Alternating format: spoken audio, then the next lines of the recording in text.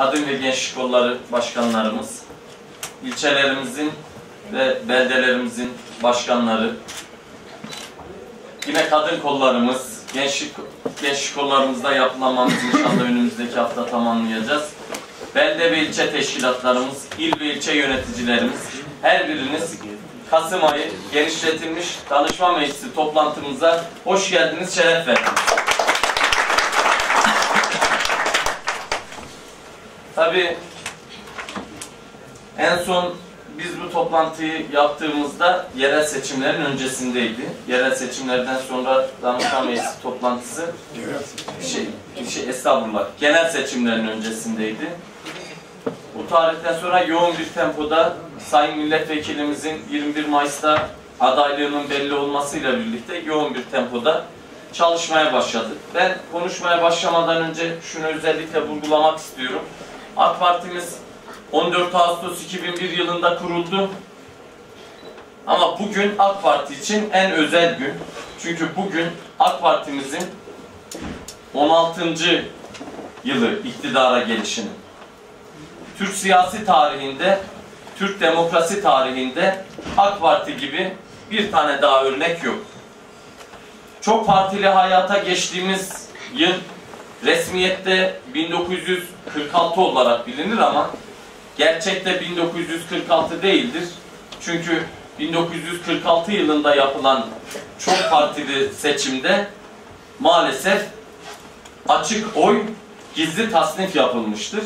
Gerçek anlamda Türkiye'nin çok partili hayata geçtiği ilk seçim 1950 yılında yaşanmıştır ve Demokrat Parti iktidara gelmiştir 1950 yılında. Ve 10 yıl Demokrat Parti iktidarda kalmıştır. 1927 Mayıs 1960 darbesiyle Adnan Menderes ve iki bakanımız yaşanan darbenin neticesinde şehit edilmişlerdir. Demokrasi şehitlerimizdir. 1960'tan sonra iktidara gelen hiçbir parti Demokrat Parti kadar da uzun süre iktidarda kalamadı. Ama 3 Kasım 2002'den itibaren AK Partimiz 16 senedir kesintisiz tek başına iktidardayız. Ve yine sadece Türk demokrasi tarihi açısından değil, dünya demokrasi tarihi açısından da önemli bir şey başardı AK Partimiz. İktidara geldiğimiz günden beri girdiğimiz bütün seçimlerde oyumuzu artırarak alnımızın akıyla çıkmayı başardık. Az önce izlediğimiz slide gösterisinde muhakkak hepimiz çok farklı duygular yaşamışızdır. Çünkü çok zorlu günlerden geçilerek bu günlere gelindi. Çok büyük badireler atlatıldı. Şunu özellikle vurgulamak istiyorum sizlere. AK Parti aslında milletin ta kendisidir. AK Parti'nin kuruluş tarihi 14 Ağustos 2001 resmiyette görünebilir. Ama gerçekte bu milletin varoluşunun ve Anadolu'nun tekrar devletine sahip çıkmasının sesidir AK Parti. AK Parti ile birlikte Anadolu insanı tekrar ülkede yönetimde söz sahibi olmaya başladı. Ve az önce slide'de izlediğimiz çok önemli bir nokta var. Onu özellikle vurgulamak istiyorum. AK Parti'nin iktidara geliş sürecinde yerel siyasetin çok büyük bir paya sahiptir. Yerelde başarılı olan belediyelerle birlikte Refah Partisi'nin ki buradaki büyüklerim o süreci çok daha yakından biliyorlar. O sürecin bizzat şahidi olan büyüklerimiz var burada. Refah Partisi'nin 90'lı yıllarının ilk yarısında kazandığı belediyeler ve o belediyelerde elde edilen üstün başarılar sayesinde Sayın Cumhurbaşkanımızın kurduğu AK Parti, Adalet ve Kalkınma Partisi kuruluşundan 15 ay sonra %34.61 oyla tek başına iktidara geliyor. Yani belediyelerle AK hareketin arasında direkt bir bağlantı var.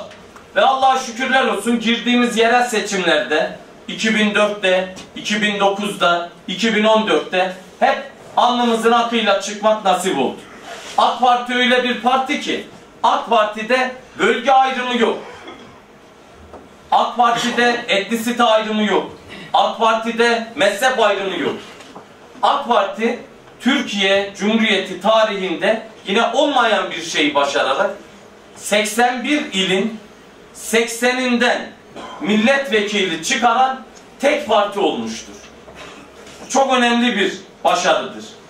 Tunceli haricinde 81 ilin tamamında AK Parti milletvekili çıkaran tek siyasi parti olarak Türk siyasi tarihine geçmiş.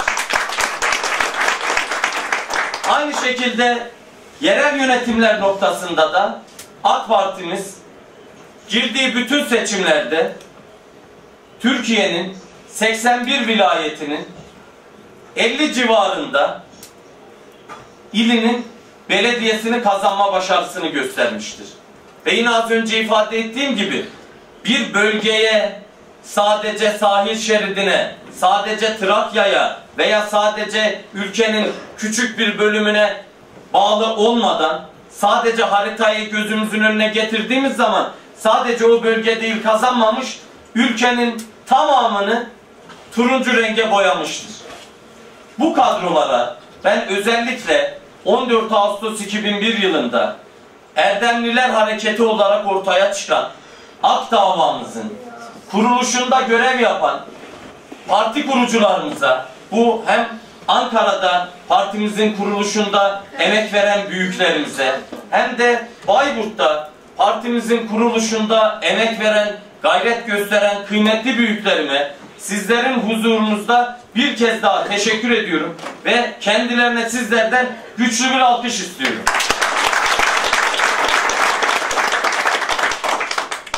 Tabii bu bir bayrak yarışı. Ben AK Parti'nin Bayburt'ta 8.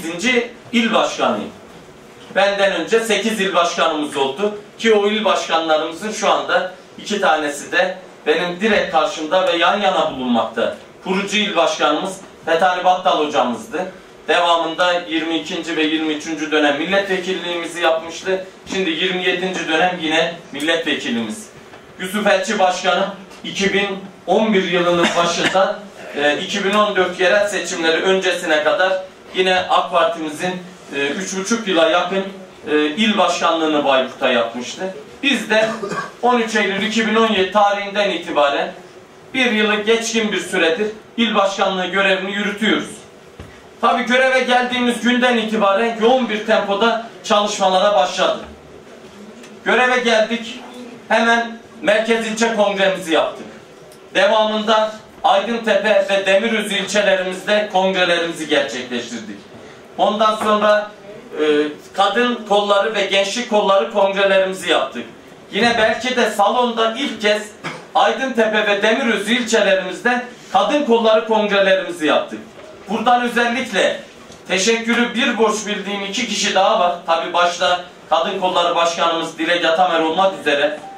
Aydıntepe Kadın Kolları Başkanımız Meryem Koca Türkiye ve yönetimine, Demirözü Kadın Kolları Başkanımız Gülüzar Kordalı ve yönetimine sizlerin huzurunuzda çok teşekkür ediyorum. Çünkü AK Parti'nin bir farkı da kadınların aktif bir siya aktif siyasete dahil olduğu ve belki de siyasi hareketin ana temelini oluşturduğu ender siyasi hareketlerden biridir.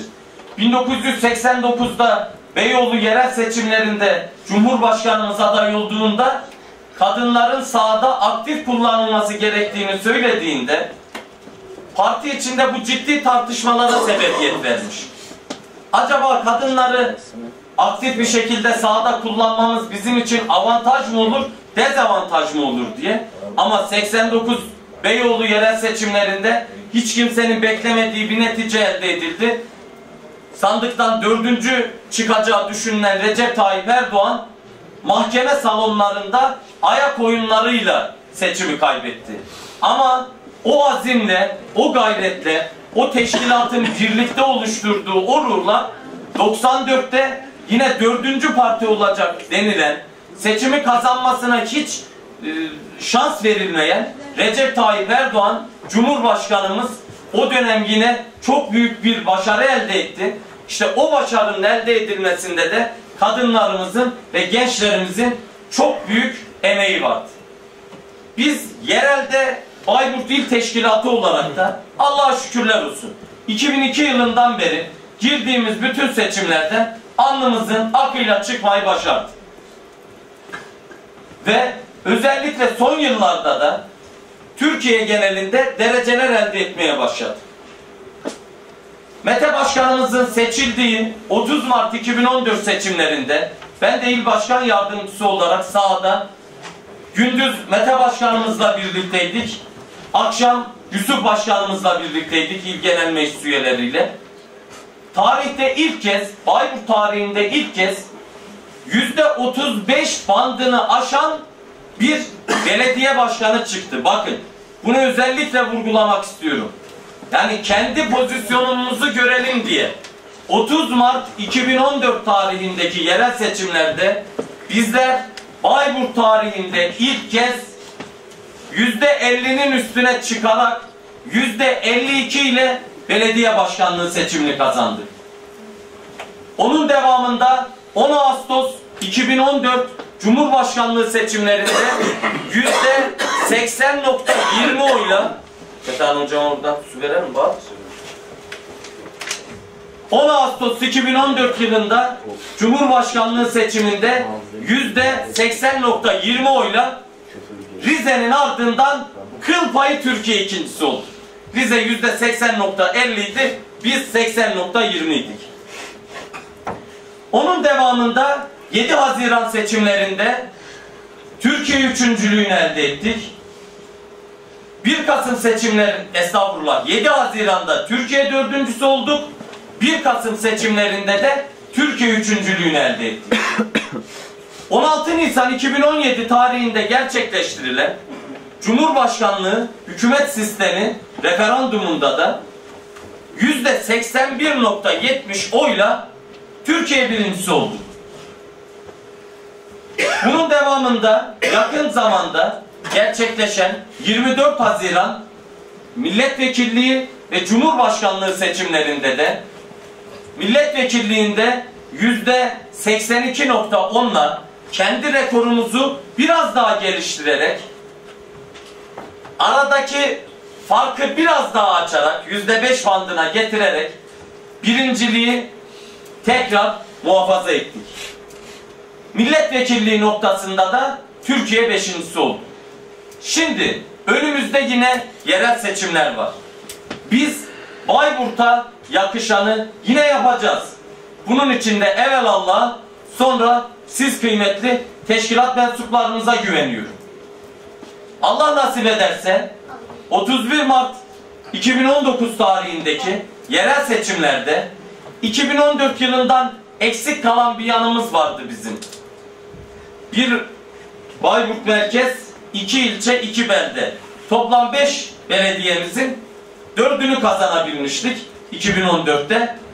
Allah nasip ederse inşallah 31 Mart seçimlerinde bu sefer Aydıntepe'yi de kazanarak mevcut belediyelerimizdeki oyumuzu da artırarak orada da tekrar AK belediyeciliği devam ettirerek 5'te 5 yapacağız. Bu konuda evvel Allah sonra siz teşkilat mensuplarınıza güveniyorum. 31 Mart'a kadar durmadan, yorulmadan çalışmamız gerekiyor. Sizlerin gayreti, bizlerin gayreti hep birlikte, el birliğiyle, evvel Allah'ın izniyle bizler çok büyük başarılar elde ettik geçmişte. Gelecekte de AK belediyeciliği Bayburt'un ilçe ve beldelerinde devam ettirmemiz gerekiyor. Bu anlamda şunu da ifade etmek istiyorum. AK Parti iktidarı nasıl ki Türkiye'de devrim niteliğinde değişimin ve dönüşümün öncüsü olmuşsa aynı zamanda Bayburt'ta da çok büyük değişim ve dönüşüm süreci yaşanmıştır. 2004 yılından itibaren Bayburt'ta AK belediyecilik sahada ve Bayburt Belediyesi bizim elimizde. 2004 yılından beri Bayburt'ta çok büyük değişimler yaşanmakta. Şöyle bir 15 sene önceye gittiğimiz zaman Bayburt'un 15 sene önceki konumunu, 15 sene önceki caddelerini, 15 sene önceki yerleşim alanlarını ve bugünkü yerleşim alanlarını göz önüne getirdiğimiz zaman Bayburt gerçekten çok büyük gelişim ve değişim süreci yaşamakta. Bundan 15-20 yıl önce hastane mevkisinde, Trabzon istikametinde, Erzurum istikametinde, Kalardı istikametinde çok büyük yerleşim yerlerimiz yoktu. Bayburt, Cumhuriyet Caddesi ve etrafına sıkışmış durumdaydı. Ama AK belediyeler sayesinde ben Bekir Çetin Başkanıma ve Hacı Ali Başkanıma da sizlerin huzurunuzda teşekkür etmek istiyorum. Onların döneminde de çok büyük yatırımlar ve çok büyük hizmetler Bayburt'a getirildi. Ama özellikle 2014 ve 2019 tarihleri arasında Mete Başkanımızın başkanlığı döneminde Bayburt'un gerçekten çehresi değişti. Ben bu noktada bu süreç zarfında görev yapan milletvekillerimize tabii ki özellikle adını da buradan anmadan geçmek istemiyorum. Eski Maliye Bakanımız, şu anda Cumhurbaşkanlığı Strateji ve Bütçe Başkanımız Naci Ağbal'a da sizlerin huzurunuzda bir kez daha teşekkür etmek istiyorum. Mete Başkanımız da görev yaptığı süre içerisinde çok büyük hizmetler gerçekleştirdi ve Bayburt'un çehresi değişti. Ben inanıyorum önümüzdeki süreçte de AK Belediyecilik Bayburt'ta aynı şekilde güçlenerek devam edecektir. Konuşmamı daha fazla uzatmak istemiyorum. Allah nasip ederse hep birlikte, el birliğiyle çok daha büyük başarılara imza atacağız. Ben sizler gibi güzel, güzide teşkilat mensuplarının bulunduğu bir teşkilata başkanlık yapmaktan şeref ve onur duyuyorum. Sizlerin hepinizden Allah razı olsun. Sizlerin sahada gösterdiği gayretler sayesinde bizler Ankara'da başımız dik, alnımız ak geziyoruz. Gelin benim bir genel merkezde gezişimi görün. Mete Başkanım benden daha fena onu da söyleyeyim. Estağfurullah. Ama bu neyle? Bu sizin sayenizde oluyor. Belki Türkiye'nin en küçük iliyiz. Belki Türkiye'nin en küçük iliyiz. Ama inanın Ankara'da da en yoğun sevgiyi ve en yoğun saygıyı gören illerinde başındayız. Ben Bayburtlu olmaktan ve Bayburt Ak Teşkilatı'nda görev almaktan gurur duyuyor. Hepinizi en kalbi duygularımla, saygı ve sevgilerimle selamlıyorum. Başkanımıza güzel konuşmalarına teşekkür ediyorum. Şu an konuşmalarını yapmak üzere İl Meclis Başkanımız Sayın Yusuf Eti Bey kürsüye arz ediyorum.